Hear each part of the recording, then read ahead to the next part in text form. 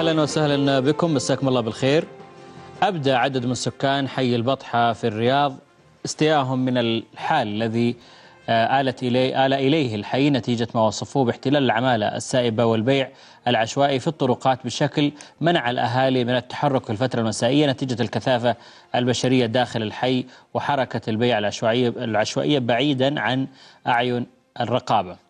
عمالة من جميع الجنسيات تتكدس في الحي وأحياء أخرى شبيهة في معظم مدن المملكة تسودها أحيانا لغة غير العربية حتى في الكتابة على لوحات المحال التجارية. الناحية الأمنية أيضا يجب أن نتوقف عندها في, في هذه الأحياء. خلونا نتابع هذا التقرير لزميلي محمد الحبيب ثم نعود للنقاش بعد ذلك.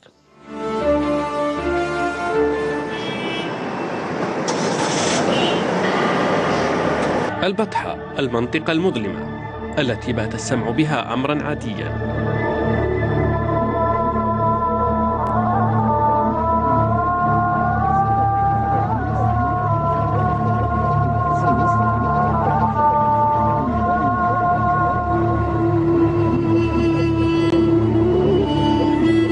منذ سنوات هذا الحي يعيث فسادا.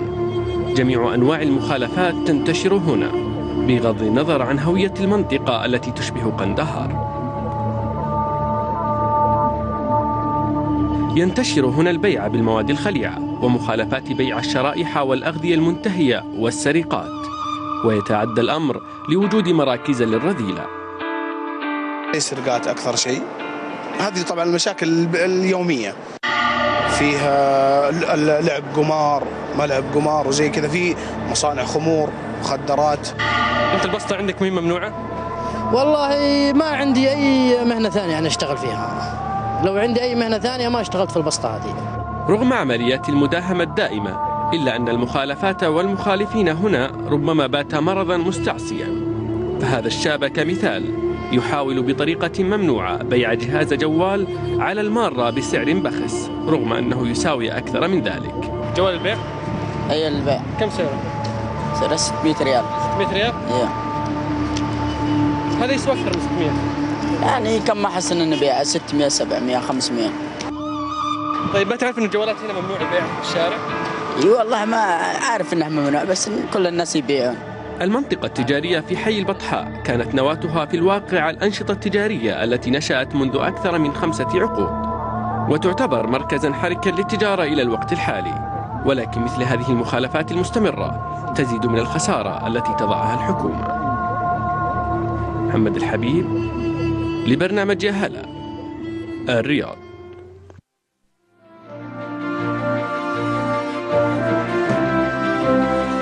طيب.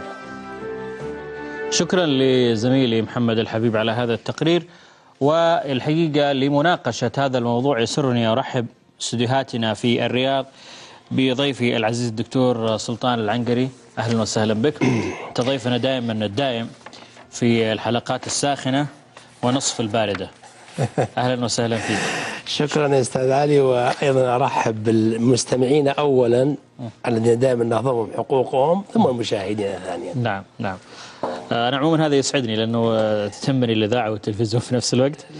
آه، ويهمني أيضا الحقيقة في فترة زمان قبل أربع سنوات كان في ال- المكفوفين اسمه عبد العزيز الزهراني مكة المكرمة. فعتب علينا عتب في فترة من فترات في قناة البي سي. إنه دائما ننساهم. الحقيقة تذكرتنا وهذا يحسب لك. فأعزائي المستمعين والمستمعات والمشاهدين والمشاهدات إيش رأيك في التقرير اللي شفت؟ هذا واقع معاش في حي في الرياض عاصمتنا الحبيبة. طيب هم نتاج إيش؟ هؤلاء العمالة السائبة ذي هم نتاج ل آه، عدة يعني آه، أسباب يعني عدة عوامل. العامل الأول أنه البعض البعض منهم آه، كفلاهم مواطنين مع الأسف وزجوا بهم في الشارع يأخذون عليهم كل شهر مبالغ والآن يصولون ويجولون في آه، شوارعنا ال- ال- ال- ال- المؤسسات ال- الوهمية أيضا تلعب دور كبير في آه، أيضا الإتيان بهذه العمالة والمؤسسات أيضا القائمة الآن أيضا تلعب دور كبير في أيضا آه، الزج بالعمالة في الشوارع. حتى الشركات الكبيرة أصبحت تأخذ ال- ال- التأشيرات وتبيعها. هي عملية عملية يعني آه، معقد والهروب من الكفله أيضا عامل آخر من عوامل ال ال ال ال ال الزج أيضا آه، في الشارع وتلقفهم اعمال سواء كانت نسائية أو كانت يعني أعمال أخرى آه، رجالية. اذا هذه هي هذه هي المحصله الموجودة عندنا الآن كما شاهدنا في التقرير.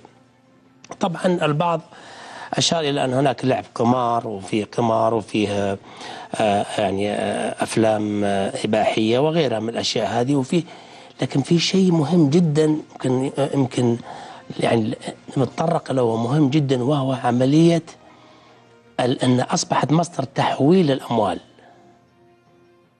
وهنا ندخل في عملية آه، عملية ما يسمى بالغسل اموال. money laundering نعم. okay.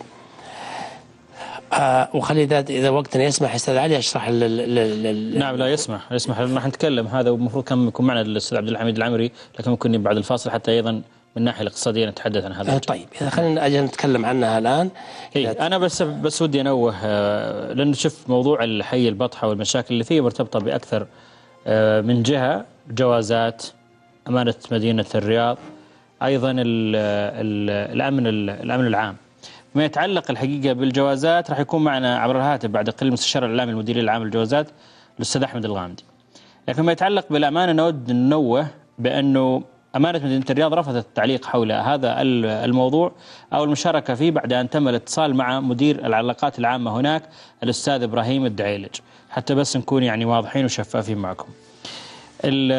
أيضا أود أن أسألك دكتور اليوم إحنا دائما نتحدث في الإعلام عن مشاكل هذا الحي أو ذاك. وتمر الأيام وتمر السنين ونمل نحن من نقاش هذا الموضوع يبقى الموضوع على ويبقى الموضوع كما هو. لماذا؟ والله أنا ما عندي إجابة بس سؤالك يعني وجيه وصريح في الوقت ذاته يعني هذا هذا اللي يعني لكن يبدو لي إنه آه، هي آه، هي هي المشكلة عندنا إنه ما في متابعة غياب المتابعة. يعني تأتي تأتي حملات تفتيشية ثم تتوقف. يعني يعني أنت الآن لما يعني زي زي البطحة، البطحة هذه مشكلة البطحة اللي ما يعرفها أساسا، البطحة البطحة عبارة عن هي قلب مدينة الرياض. هي فيها يعني فيها آه، مساكن عشوائية. فيها أزقة و- وشوارع ضيقة جدا حتى يمكن يمكن السيارة ما تخش بين نعم. هذا يمكن تستخدم ال- ال- ال- ال- الدراجة النارية أو غيرها من من من ال- فطبيعه ال- ال- ال- ال- البطحة وطبيعه المساكن الموجودة فيها آه، تشجع على على على إيواء مثل هذه الأعمال السائبة ليس ذلك فحسب بل انها تصبح وكر أساسا ومكان آه، ال- آه، هذه العمالة إلى آه، آه، سرقات. تصور إنسان آه، آه، أتى إلى هذا البلد ما عنده عمل. إيش يبغى إيش تتوقع إنه يسوي؟ يعني واحد أتى إلى هنا وجالس ما عنده أي عمل معناته لازم يسوي حاجة غير نظامية. نعم. غير قانونية. يسرق آه، قد قد يعني يبتز قد يحتال ينصب يمرر مكالمات. آه، يمتهن آه، والعياذ بالله ال- ال- ال- ال- القواده وغيرها من هذا ال- ال- ال- وأيضا مهم جدا اللي هو أنا اتكلم عنه اللي هو عمليه تحويل الاموال، تحويل الاموال هذه ليس بالبساطه تصورها احد، غسل الاموال هذه لو تخليني اشرح لك اياها أستاذ علي لأنه مهمه جدا. يعني تصور واحد ياتي عندك بدل ما يروح يدخل عن طريق ال- البنوك وبالطرق ال- ال- ال- ال- ال- ال- الشرعيه والقانونيه يأتي عن طريق مجموعة. يجي يعطيه الأموال يقول أوكي أنت تستلمها في المكان في البلد هناك واعطيك أموال. طيب. هنا يغيب حاجة اسمها الرقيب اللي هي البنوك أو أو عندنا دائما البنك المركزي اللي مؤسسة النقد. فلما يأتي واحد ويعطي واحد المبالغ هذا الشخص ما يعرف المبالغ هذه جاية من وين أساسا. وش غسل الأموال؟ غسل الأموال هو أنك تأتي بمبالغ إما يعني نتاج لبيع مخدرات أو أسلحة. أو أسلحة أو آه، أو أو تجارة رق الرق أو أو غيرها من الأشياء هذه أو حتى التبرعات الخيرية عندما أنت تسيء استخدامها أساسا نعم.